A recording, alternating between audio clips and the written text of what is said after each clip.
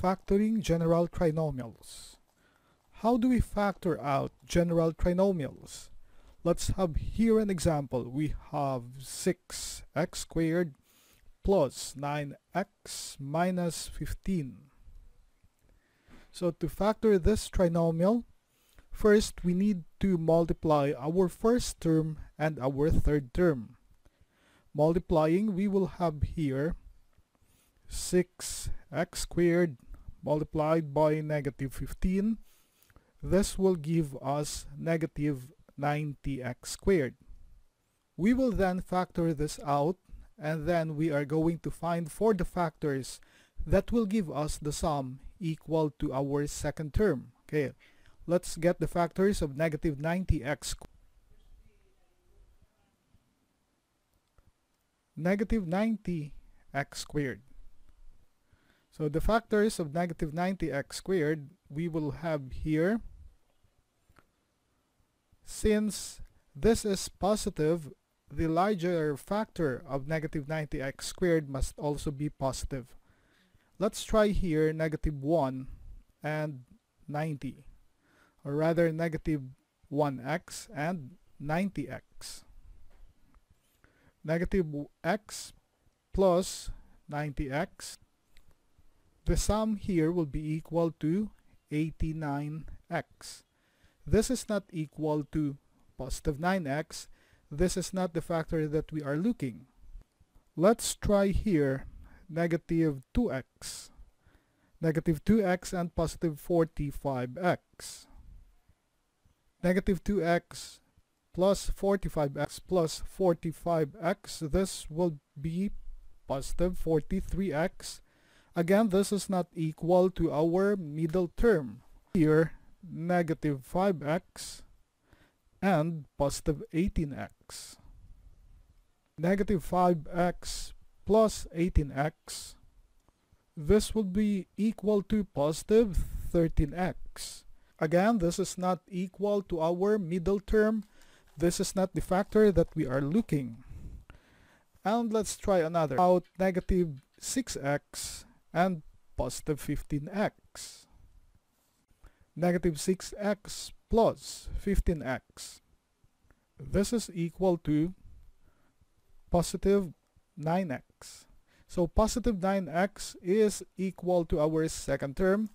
This is now the factors that we are going to use. We can rewrite this equation. So rewriting this will now be 6x squared plus, okay, so we are going to add here negative 6x plus 15x minus 15. Okay, so we have here rewritten our equation. So we have here 6x squared positive multiplied by negative that is negative 6x plus 15x minus 15 and then we are going to combine some terms okay? So let's try to combine 6x squared and 6x here is 6x squared minus 6x okay? So plus since this is positive this will also be positive 15x and since this is negative again it would still be negative 15 okay so we can factor that out. This will be 6x and this will be x minus 1 plus 15x minus 15. 15 is common between the two terms so we'll factor out 15 and then 15x divided by 15 that is equal to x minus 15 divided by 15 that is 1. So we have here x minus 1 and x minus 1. So we can combine them. And then we can also combine 6x plus 15. So combi combining, we will have here 6x plus 15. Multiply this by x minus 1. Okay, so therefore, 6x squared plus 9x minus 15 its factored form will be the quantity of 6x plus 15 multiplied by x minus 1. This is now our final answer. Let's have another example. We will have here 4 x squared plus 7x minus 15. To factor this out, first we are going to multiply the first term and the last term. We will have here 4x squared multiplied by 15 or rather negative 15 and this will give us negative 60x squared. We have here negative 60x squared and the factors will be now remember in factoring negative 60x squared we are going to find for the factors that will give us the sum that will equal to the middle term okay let's try here negative 1x or negative x and positive 60x. Now, our larger term will always be positive because this is positive. Negative 1x plus 60x. This is equal to positive 59x. Okay, so 59x is not equal to positive 7x. This is not what we're looking. About if we try negative 4x and positive 15x. Negative 4x plus 15x. This will be equal to positive 11x. Positive 11x is not equal to positive 7x. This is not what we're looking. Let's try another. We have here negative 5x. Multiply this by positive 12x. Negative 5x plus 12x. This is equal this is equal to positive 7x. So 7x here is equal to our middle term which is also 7x. This is the factors that we will be using. We can rewrite now our equation using these two factors. So we will have here 4x squared instead of positive 7x we will now have here plus negative 5x plus positive 12x minus 15 and we can combine like terms okay we have here 4x squared plus multiplied by negative this will give us negative 5x plus 12x and negative 15. Okay, so we can combine 4x squared and positive 12x and we can also combine negative 5x and negative 15.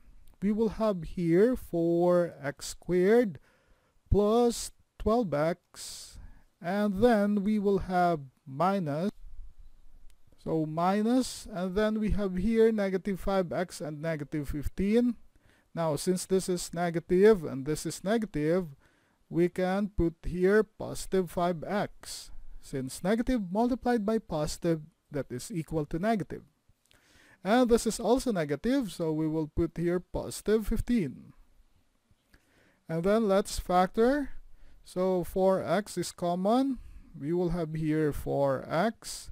Multiply this by x plus 12x divided by 4x that will give us positive 3 minus okay 5 is common and then 5x divided by 5 that is x and 15 divided by 5 that is positive 3 so we have here the same terms the quantity of x plus 3 this will be taken as 1 and then we can combine 4x minus 5 so we have here 4x minus 5 and this will now be multiplied by the quantity of x plus 3 therefore 4x squared plus 7x minus 15 its factored form now will be the quantity of 4x minus 5 multiplied by the quantity of x plus 3 this is now our final answer.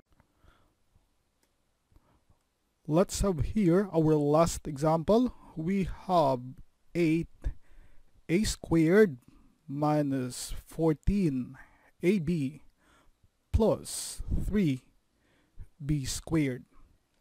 To factor out this general trinomial, we have to multiply the first term and the last term. We have here 8a squared multiplied by positive 3b squared. This will give us positive 24a squared b squared. And then we have to factor out 24a squared b squared and we will find the factors that will give us the sum of negative 14ab. Let's factor this out. Let us now factor out 24a squared b squared. Let's try first negative ab and multiply this by negative 24ab.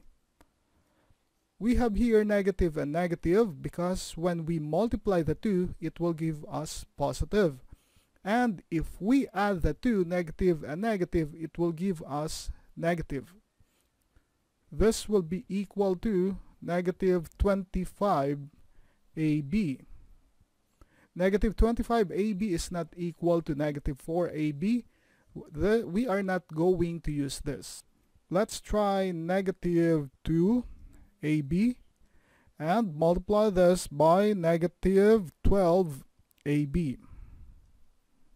Negative 2AB plus negative 12AB this will be equal to negative 14AB. So negative 14AB is equal to our second term. Therefore, we are going to use these factors. And we can now rewrite our trinomial expression. Okay, so we have here 8a squared. Instead of negative 14ab, this will now be minus 2ab. Okay, positive multiplied by negative, this will give us negative 12ab plus 3b squared. Terms we can combine 8a squared and negative 2ab and we can also combine negative 12ab and 3b squared. So combining we will have here the quantity of 8a squared minus 2ab